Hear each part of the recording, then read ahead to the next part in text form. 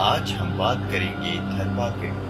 पाकिस्तान का वो हिस्सा, जहाँ साफ़ पानी ही क्या, सिर्फ़ पानी ही मैसर हो जाए तो बड़ी बात है। अगर एक एवरेज बात करें तो हर बच्चा रोज़ाना तीन से चार किलोमीटर चलता है। सिर्फ़ पानी घर लाने में पाँच घंटे जाया हो जाते हैं। पाणी में सॼो ॾींहुं पुरास रहंदा आहियूं गॾु ईंदे पाणी ॾींहुं भरींदा आहियूं बिल्कुलु असां पाणी कोन परेशान आहियूं टे चारि किलोमीटर त पाणी खणी ईंदा सॼो ॾींहुं पाणी भरींदा हेॾी ख़तमु थी वेंदो हर साल हज़ार से ज़्यादा बच्चे मरते हैं। गंदे पानी और प्रॉपर हेल्थ फैसिलिटीज़ न होने की वजह से। आखिर इनका क्या कसूर? लेकिन अब नहीं।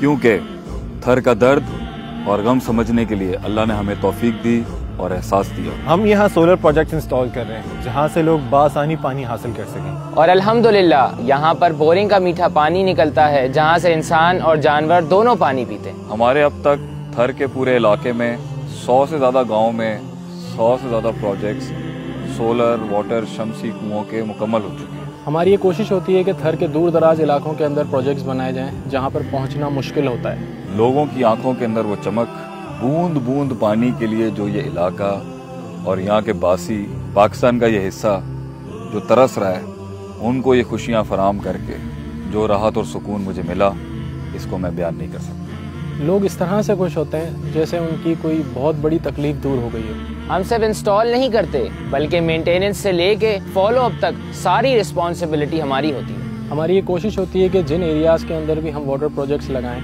वहाँ पर हमारे टीम मेंबर्स कांटेक्ट में रहें ताकि प्रॉपर फॉलोअप लिया जा सके प्रोजेक्ट्स का। अल्लाह ने मुझे ज़िंदगी का एक नया मकसद दिया और वो है थर की खुशहाली। थर के लोगों की खुशहाली पानी से लेके हर शोबे के अंदर।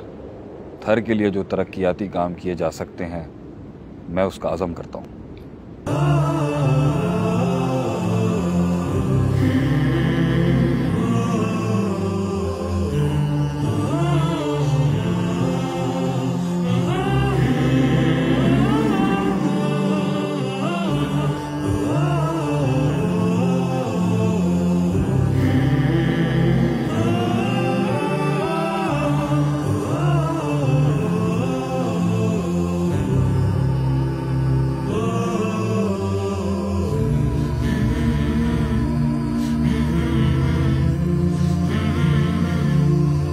और ये सब हम अकेले नहीं कर सकते। इसमें हमें आपकी भी मदद चाहिए होगी। Be a part of this खैर एंड लीव सदके जारिया for you and your family थर बचाओ।